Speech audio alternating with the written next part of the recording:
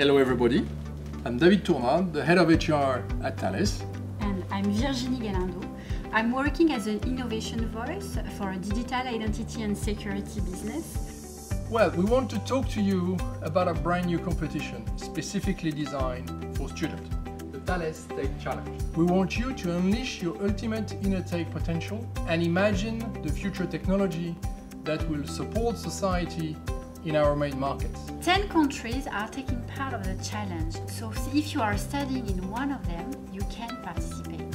First, this is your chance to compete with your peers and to be crowned at national or international level. Maybe this is your chance to leave your mark in the history.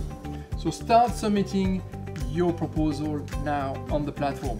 We are excited about reviewing your projects and we want to learn about what you're capable of. There are some incredibly prizes to be won, including the ultimate one for the winners, that is experiencing the true life at our digital factory, our most innovative lab on the planet.